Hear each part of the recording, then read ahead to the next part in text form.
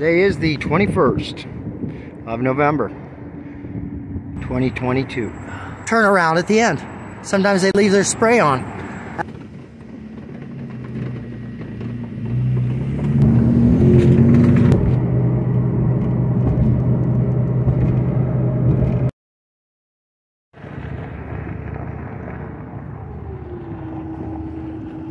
How you doing, folks?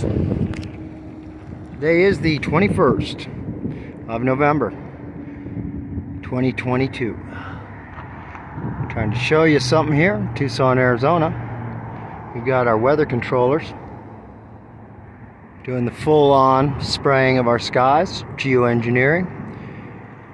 Because what uh, this is all about is they spray a whole bunch of white powder in our skies and then they tell you it's climate change. Okay? That's the way it goes. When in reality, we've got people controlling our weather 100%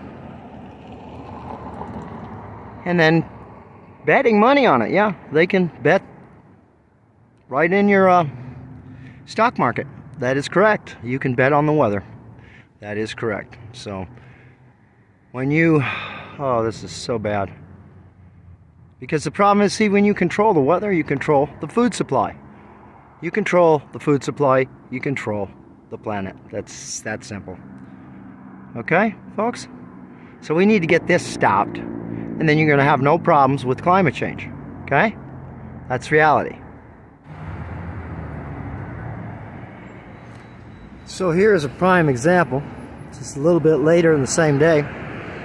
Today is the 21st November.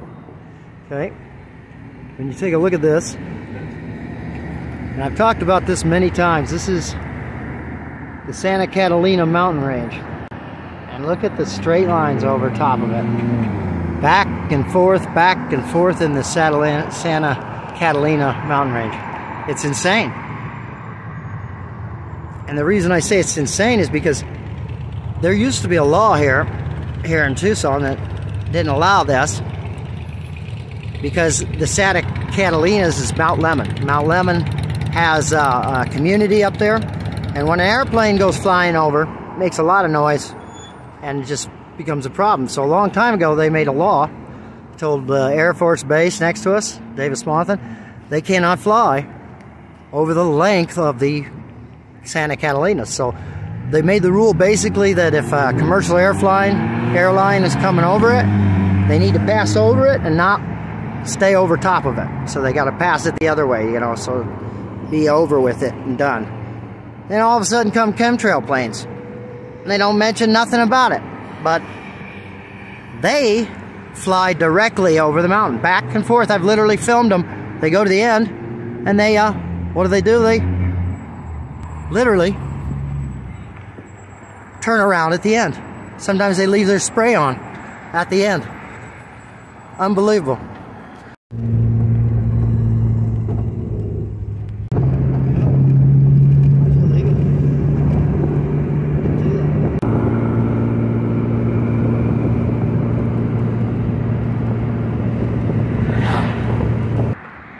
Back and forth, back and forth.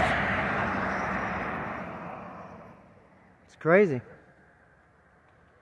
So none of those are commercial airplanes. Tell you that much. Not a single one of them. Yep. Okay. They're going directly overhead of that thing. There we are. It's called geoengineering. It's weather control. And it also refers to climate change. Because this, this is climate change, folks.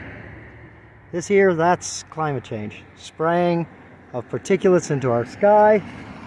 And then saying that we have to worry about man-made climate change. Whole bunch of garbage. The reality is, is this is the reality. Spraying over skies and controlling the weather. You know? And why people can't see this is just beyond me.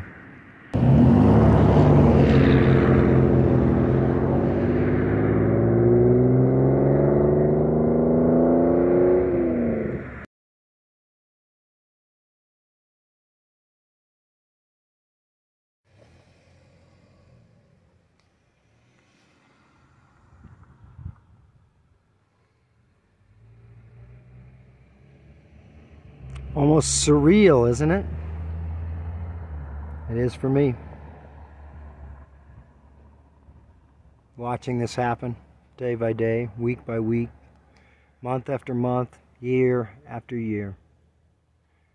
And people are still not standing up, fighting for their rights, and getting this ended. Nope.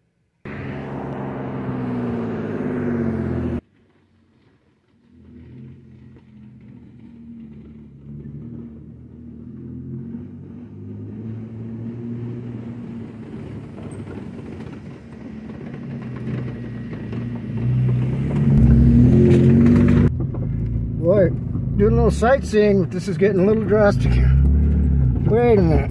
What the heck? No way. I'm not gonna. That, that uh, yeah. I think this is where I turn around.